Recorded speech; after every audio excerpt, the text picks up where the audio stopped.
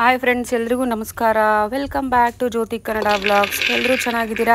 I hope ಎಲ್ಲ ನೀವು ಚೆನ್ನಾಗಿದ್ದೀರಾ ಅಂದ್ಕೊಂಡಿದ್ದೀನಿ ಸೊ ನಾನಿವಾಗ ಕಡಲೆಕಾಳುದು ಗೊಜ್ಜು ಮಾಡ್ತಾಯಿದ್ದೀನಿ ತುಂಬ ಚೆನ್ನಾಗಿರುತ್ತೆ. ಚಪಾತಿ, ರೊಟ್ಟಿಗೆ, ಸೈಡ್ಸ್ಗೆ, ಅನ್ನ, ಸಾಂಬಾರು ಸೈಡ್ಸ್ಗೆ ಎಲ್ಲ ತುಂಬ ಚೆನ್ನಾಗಿರುತ್ತೆ. ಹಂಗೆ ಎಲ್ತಿಯಾಗೂ ಸಹ ಇರುತ್ತೆ.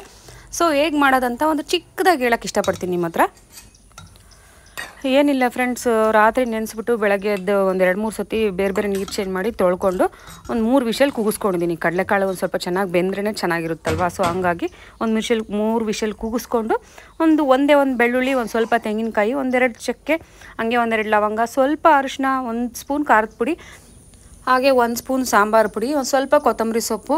ಗಸಗಸೆ ಇದ್ದರೆ ಸ್ವಲ್ಪ ನಾವು ಬಿಸಿ ಮಾಡಿ ಹಾಕ್ಕೋಬೋದು ಒಂದು ಸ್ಪೂನು. ನಾನು ಗಸಗಸೆ ಇರಲಿಲ್ಲ ಸೊ ಸ್ಕಿಪ್ ಮಾಡ್ಕೋಬೋದು, ಏನು ಪ್ರಾಬ್ಲಮ್ ಇಲ್ಲ. ಒಂದು ಸ್ವಲ್ಪ ಶುಂಠಿ ಹಾಕೊಂಡು ಚೂರೇ ಚೂರು ನೀರು ಹಾಕ್ಕೊಂಡು ಮಿಕ್ಸಿಗೆ ಹಾಕ್ಕೊಂಡ್ಬಿಡೋಣ.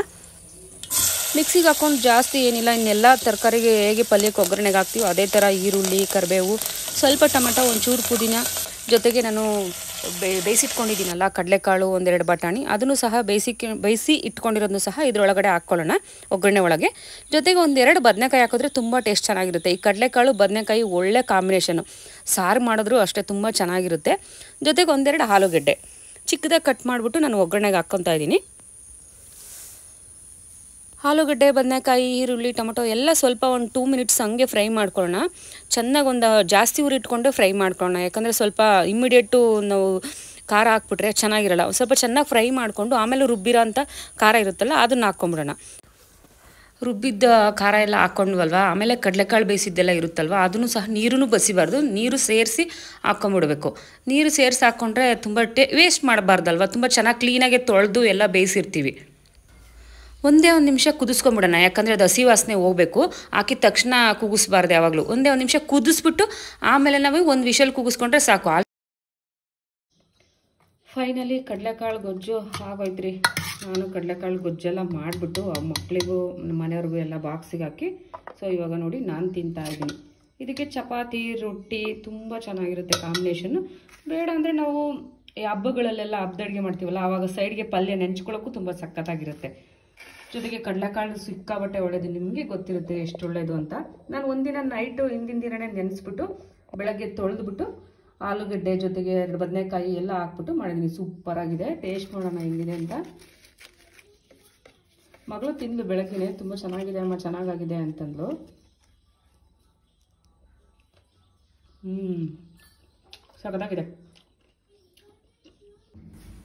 ಹಾಗೆ ಮಧ್ಯಾಹ್ನಕ್ಕೂ ಸಾಯಂಕಾಲಕ್ಕೂ ಸಾರು ಬೇಕಲ್ವಾ ಸೊ ಮೊಳಕೆ ಕಟ್ಟಿದ್ದು ಹುಳ್ಳಿಕಾಳಿತ್ತು ಸ್ವಲ್ಪ ಕಡಲೆಕಾಳು ಹಾಕಿ ಮೊಳಕೆ ಬರೆಸಿದ್ದೆ. ಹುಳ್ಳಿಕಾಳು ಒಂದಿನ ಮುಂಚೆನೇ ನೆನೆ ಹಾಕ್ಬಿಟ್ಟು ಒಂದಿನ ಮೊಳಕೆ ಕಟ್ಟಿಸಿ ನೆಕ್ಸ್ಟ್ ಅದೇನಿದ್ರು ಟೂ ಡೇಸ್ ಬೇಕಾಗುತ್ತೆ ಮೊಳಕೆ ಕಟ್ಟಿ ಸಾರು ಮಾಡೋದಕ್ಕೆ. ಇಮಿಡಿಯೇಟ್ ಮಾಡೋಕ್ಕೆ ಬರಲ್ಲ.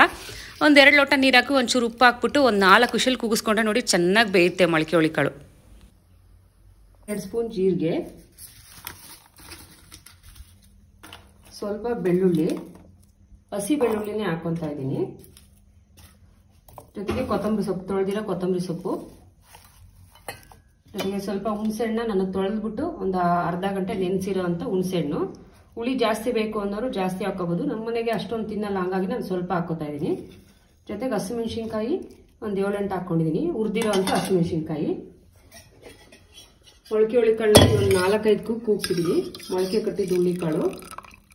ಉಪ್ಪು ಹಾಕಿ ಒಂದು ನಾಲ್ಕು ವಿಷಲ್ ಕೂಗಿಸ್ಕೊಂಡಿದ್ದೀನಿ. ಚೆನ್ನಾಗಿ ಬೆಂದಿದೆ. ಅದನ್ನು ಸ್ವಲ್ಪ ರುಬ್ಬಕ್ಕೆ ಹಾಕೋಣ. ಅದು ಸಪ್ಪೆ ಹೆಸರಿರುತ್ತಲ್ಲ ಅದನ್ನೇ ಬೇಕಾದ್ರೆ ಇನ್ನೊಂದು ಸ್ವಲ್ಪ ರುಬ್ಬಕ್ಕೆ ಹಾಕ್ಕೊಳ್ಳೋಣ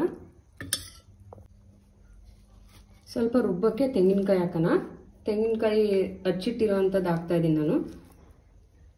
ತುರಿದ್ಬಿಟ್ಟು ಬೇಕಾದರೆ ಹಾಕೋಬೋದು. ನನ್ನ ಹತ್ರ ಹಚ್ಚಿಟ್ಟಿರೋದಿದ್ದು ತುರಿದಿರೋದು ನನಗೆ ಹುಳಿ ಕಾಳಿಗೆ ಬೇಕಲ್ವಾ? ಅದಕ್ಕೋಸ್ಕರ ತುಂಡ, ತುಂಡು ತುಂಡಾಗಿ ಬಿದ್ದಿರುತ್ತಲ್ವ, ಅದನ್ನು ಹಾಕಿದ್ದೀನಿ ಸೊ ಮಿಕ್ಸಿಗೆಲ್ಲ ಹಾಕಿದ್ದಾಯಿತು. ಇವಾಗ ರುಬ್ಬಕ್ಕೆ ಹಾಕ್ಕೊಂಬಿಡೋಣ ನೋಡಿ ರುಬ್ ರುಬ್ಕೊಂಡಿದ್ದಾಯ್ತಲ್ಲ ಇವಾಗ ನಾನು ಸಪ್ಪೆಸರು ಬಸ್ಕೊಂಡಿದ್ದೀನಲ್ಲ, ಆ ಸಪ್ಪೆಸ್ರಿಗೆ ಮಿಕ್ಸ್ ಮಾಡ್ಕೊಳ್ಳೋಣ. ಮಿಕ್ಸ್ ಮಾಡ್ಕೊಂಡಿದ್ದಾದ್ಮೇಲೆ ನಾವು ಇದನ್ನು ಬಿಸಿ ಮಾಡಬಾರ್ದು ಯಾವಾಗಲೂ. ಅಷ್ಟಕ್ಕೂ ಮಿಕ್ಸ್ ಮಾಡ್ಕೋಬಾರ್ದು. ನಾವು ಉಪ್ಪು, ಖಾರ ನೋಡಿಕೊಂಡು ಮಿಕ್ಸ್ ಮಾಡ್ಕೋಬೇಕು. ಅದಕ್ಕೆ ಸ್ವಲ್ಪ ನಾನು ಎತ್ತಿಡ್ತಾ ಇದ್ದೀನಿ ಸಪ್ಪೆಸರು ಅದು ತುಂಬ ಚೆನ್ನಾಗಿರುತ್ತೆ. ಬರೀ ಸಪ್ಪೆಸರಲ್ಲೇ ಊಟ ಮಾಡೋಕ್ಕೂ ಸಹ. ಪಾಪು ಏನಾದರೂ ಖಾರ ಅಂತಂದರೆ ಅವನಿಗೆ ಸ್ವಲ್ಪ ಅದನ್ನು ಸಪ್ಪೆಸ್ರ ಹಾಕ್ಬಿಟ್ಟು ತಿನ್ನಿಸ್ಬೋದು ಮಕ್ಕಳಿಗೆ. ನೋಡಿ, ಇದನ್ನು ಮಿಕ್ಸ್ ಮಾಡಿಕೊಂಡು ಇದನ್ನು ಬಿಸಿ ಮಾಡಬಾರ್ದು. ಚೆನ್ನಾಗಿರಲ್ಲ. ಹಾಗೆ ತಿನ್ನಬೇಕು ಇದನ್ನ ಹಂಗೆ ಮಿಕ್ಸ್ ಮಾಡಿಕೊಂಡು ಇದಕ್ಕೆ ಆಲ್ರೆಡಿ ಉಪ್ಪು ಹಾಕಿದ್ವಿ. ನೋಡಿ, ಸಾಂಬಾರು ರೆಡಿ ಆಗೋಯ್ತು. ಇದಕ್ಕೆ ನಾವು ಮೊಳಕೆ ಹುಳಿಕಾಳು ಕ್ಯೂಚ್ ಹೆಸರು ಅಂತೀವಿ. ಬಸ್ಸಾರು ಬೇಕಾದ್ರೆ ನಾವು ಇದೇ ಥರ ಮಾಡ್ಕೊಳ್ಳೋದು. ನಾನು ಆಲ್ರೆಡಿ ಹಿಂದಿನ ಬ್ಲಾಗಲ್ಲಿ ನಿಮಗೆ ತೋರಿಸಿರ್ತೀನಿ ನಾನು ಬಸ್ಸಾರು ಮಾಡೋದು ಹೇಗೆ ಅಂತ.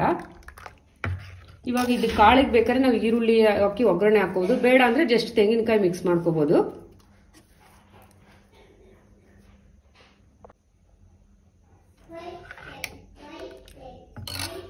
ಬಿಸಿ ಮುದ್ದೆ ಮಾಡಿಕೊಂಡ್ರೆ ತುಂಬ ಚೆನ್ನಾಗಿರುತ್ತೆ ಬಿಸಿ ಮುದ್ದೆನ. ನಾನು ಆಮೇಲೆ ಬಿಸಿದ ಮುದ್ದೆ ಮಾಡ್ಕೊತೀನಿ, ಬೇಕೆಂದ್ರೆ ಬೇಗ ಮಾಡಿರ್ತೀನಿ ಸಾಂಬಾರೆಲ್ಲ. ಇದಕ್ಕೂ ಅಷ್ಟೇ ತೆಂಗಿನಕಾಯಿ ನಾವು ತಿನ್ಬೇಕಾದ್ರೆ ಮಿಕ್ಸ್ ಮಾಡ್ಕೊಂಡು ತಿಂದರೆ ತುಂಬ ಟೇಸ್ಟ್ ಚೆನ್ನಾಗಿರುತ್ತೆ ಫ್ರೆಶ್ ಫೀಲ್ ಆಗುತ್ತೆ. ನಾವು ಈರುಳ್ಳಿ, ಹಸಿಮೆಣ್ಸಿನ್ಕಾಯಿ ಬೇಕಾದರೂ ಒಗ್ಗರಣೆ ಹಾಕ್ಕೊಂಡು ತುಂಬ ಚೆನ್ನಾಗಿರುತ್ತೆ ತಿನ್ನೋಕ್ಕೆ. ಬೇಡ ಅಂದರೆ ಬರೀ ಹಸಿ ತೆಂಗಿನಕಾಯಿ ಮಿಕ್ಸ್ ಮಾಡಿಕೊಂಡು ತಿನ್ಬೋದು. ನೋಡಿ ಎಷ್ಟು ಮೆತ್ತಗೆ ಬೆಂದಿದೆ ಹುಳ್ಳಿಕಾಳು ಈ ಥರ ಮೆತ್ತಗೆ ಬೆಂದರೆ ತುಂಬ ಚೆನ್ನಾಗಿರುತ್ತೆ. ಹುಷಾರಿಲ್ಲದೆ ಇರಬೇಕಾರೆಲ್ಲ ಒಳ್ಳೆ ಟೇಸ್ಟ್ ಕೊಡುತ್ತೆ ನಾಲ್ಗೆಗೆ. ಹುಳ್ಳಿಕಾಳು ಎಷ್ಟು ಒಳ್ಳೇದಲ್ವ? ಆರೋಗ್ಯಕ್ಕೆ ಶುಗರ್ ಇರೋರ್ಗಾತು ಇಲ್ಲದೆ ಇರೋರ್ಗಾತು ತುಂಬಾ ಒಳ್ಳೆಯದು ನಾನಿದ್ರ ಜೊತೆ ನೋಡಿ ಒಂದು ಇನ್ನೊಂದು ಕಡಲೆಕಾಳನ್ನು ಸ್ವಲ್ಪ ಹಾಕಿದ್ದೆ ನೆನೆಹಾಕಕ್ಕೆ. ಅದು ಸಹ ಮೊಳಕೆ ಬಂದಿದೆ. ಹುಳಿ ಮಾಡಿದ್ರೆ ತುಂಬ ಚೆನ್ನಾಗಿರುತ್ತೆ ಮಸಾಲೆ ಹಾಕಿ.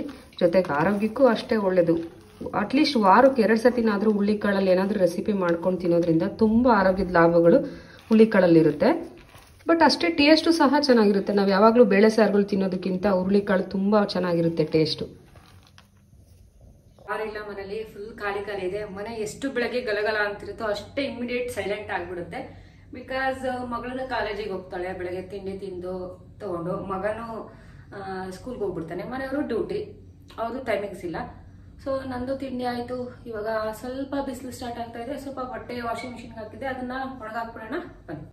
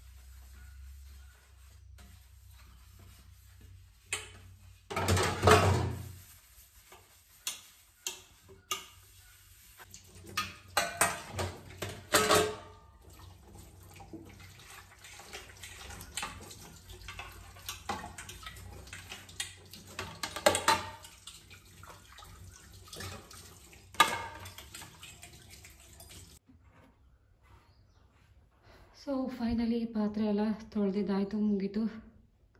ಸೊ ಹಂಗೆ ಅಕ್ವಾಗಾರ್ಡಲ್ಲಿ ನೀರು ಖಾಲಿಯಾಗಿದೆ ಅನಿಸುತ್ತೆ. ಸಿಂಕ್ ಎಲ್ಲ ಕ್ಲೀನ್ ಆಯ್ತಲ್ಲ ಸೊ ಇವಾಗ ನೀರನ್ನ ವೇಸ್ಟ್ ಮಾಡ್ದಂಗೆ ಒಂದು ಬಕೆಟಲ್ಲಿ ಸ್ಟೋರ್ ಮಾಡ್ಕೊಳ್ಳೋಣ.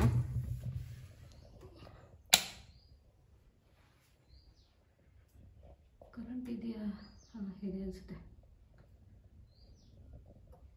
ಸೊ ಸ್ವಲ್ಪ ಕಸ ಗುಡಿಸ್ಬಿಟ್ಟು, ನೆಲ ಒರೆಸ್ಕೊಬಿಟ್ಟು ಸ್ನಾನಕ್ಕೆ ಹೋದರೆ ಫೈನಲಿ ಸ್ವಲ್ಪ ಇವತ್ತಿನ ಕೆಲಸ ಮುಗ್ದಂಗೆ. ಸೊ ಫೈನಲಿ ಇಷ್ಟೆಲ್ಲ ಕೆಲಸಗಳ ಮಧ್ಯೆ ನನ್ನ ಸ್ನಾನಕ್ಕೆ ಟೈಮ್ ಆಗುತ್ತೋ ಇಲ್ವೋ ಗೊತ್ತಿಲ್ಲ. ಅಷ್ಟೊತ್ತಿಗೆ ನನ್ನ ಪುಟಾಣಿಗೆ ಟೈಮ್ ಆಗ್ಬೋದು. ನೋಡೋಣ, ಆದಷ್ಟು ಟ್ರೈ ಮಾಡ್ತೀನಿ. ನನಗೆ ಎಲ್ಲ ಕೆಲಸಗಳು ಮುಗಿದಲ್ಲೇ ಸ್ನಾನ ಮಾಡೋಕ್ಕಾಗಲ್ಲ. ಎಲ್ಲ ಕೆಲಸಗಳು ಮುಗಿಸ್ಕೊಂಡೇ ಸ್ನಾನಕ್ಕೆ ಹೋಗೋದು. ಆಲ್ಮೋಸ್ಟ್ ಎಲ್ಲ ಹೆಣ್ಮಕ್ಳು ಹಂಗೆ ಅಂದ್ಕೊತೀನಿ ಸೊ ನಾನು ಮಾತ್ರ ಸ್ವಲ್ಪ ಆಲ್ಮೋಸ್ಟ್ ಎಲ್ಲ ಕೆಲಸಗಳು ಮುಗಿಸ್ಕೊಂಡೆ ಸ್ನಾನಕ್ಕೆ ಹೋಗೋದು. ಸೊ ನನ್ನ ಪುಟಾಣಿ ಬಂದಮೇಲೆ ಅವನಿಗೆ ತಿನ್ನಿಸೋದು ಅವನಿಗೆ ಹೋಮ್ವರ್ಕು ಅವನಿಗೆ ನಿದ್ದೆ ಮಾಡಿಸೋದು ಇದೇ ಆಗೋಗುತ್ತೆ. ಸೊ ಅದಕ್ಕೆ ಆದಷ್ಟು ಇರೋ ಮನೆ ಕ್ಲೀನಿಂಗ್ಸ್ನ ಕೆಲಸಗಳನ್ನ ಮುಗಿಸ್ಕೊಂಡು ನೋಡೋಣ ಸ್ನಾನಕ್ಕೆ ಹೋಗೋಕೆ ಟೈಮ್ ಆಗ್ತಾ ಇಲ್ವಾ ಗೊತ್ತಿಲ್ಲ.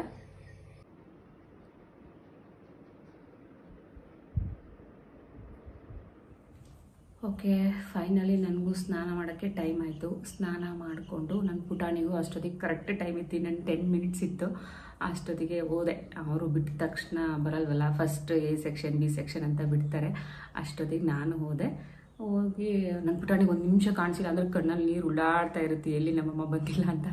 ಅಷ್ಟೊತ್ತಿಗೆ ಕರೆಕ್ಟಾಗೆ ಹೋದೆ ಕರೆಕ್ಟಾಗಿ ಕರ್ಕೊಂಡು ಬಂದು ಅವನಿಗೂ ತಿನ್ನಿಸಿ ಸ್ನಾನ ಮಾಡಿಸಿ ಸೊ ಮಲ್ಕೊಂಡಿದ್ದಾನೆ ಇವಾಗ.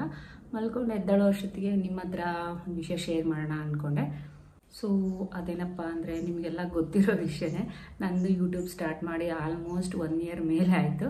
ಸೊ ಅದಕ್ಕೆ ಪರ್ಸ್ನಲ್ ಆಗಿ ಫ್ರೆಂಡ್ಸ್ ಆಗಿರ್ಬೋದು ರಿಲೇಷನ್ ಪ್ರತಿಯೊಬ್ಬರು ಸ್ವಲ್ಪ ಜನ ಕೇಳ್ತಾ ಇದ್ದೀರಾ. ಯೂಟ್ಯೂಬಿಂದ ಅಮೌಂಟ್ ಬಂತಾ, ಎಷ್ಟು ಬಂತು ಅಂತ ನಾರ್ಮಲಾಗಿ ಕೇಳೋ ಥರ ಕೇಳ್ತಾ ಇದ್ದೀರಾ. ಸೊ ನಾನು ನಿಮ್ಮ ಹತ್ರ ಹೇಳೋದೇನಪ್ಪ ಅಂದರೆ ಖಂಡಿತ ಅಮೌಂಟ್ ಬಂದರೆ ನಿಮ್ಮ ಹತ್ರ ಎಲ್ಲರ ಹತ್ರನು ಶೇರ್ ಮಾಡ್ತೀನಿ. ಬಿಕಾಸ್ ನಿಮ್ಮಿಂದಲೇ ನಾನು ಇಲ್ಲಿವರೆಗೂ ಕುತ್ಕೊಂಡು ಮಾತಾಡ್ತಿರೋದಲ್ವಾ? ಸೊ ಅಮೌಂಟ್ ಬಂದ್ರೂ ಅದು ನಿಮ್ಮಿಂದಲೇ ಒಂದು ರೂಪಾಯಿ ನಾನು ತೊಗೊತಿದ್ದೀನಿ ಅಂದರೆ ಅದು ನೀವೇ ಕಾರಣ. ಸೊ ಎಷ್ಟು ಬಂದ್ರೂ ನಿಮ್ಮ ಹತ್ರ ಖಂಡಿತ ಶೇರ್ ಮಾಡ್ತೀನಿ. ನಿಮಗೆ ಗೊತ್ತಿರೋ ಥರನೇ ಅದು ತುಂಬ ಕಂಡೀಷನ್ಸ್ ಇರುತ್ತೆ, ರೂಲ್ಸ್ಗಳಿದೆ.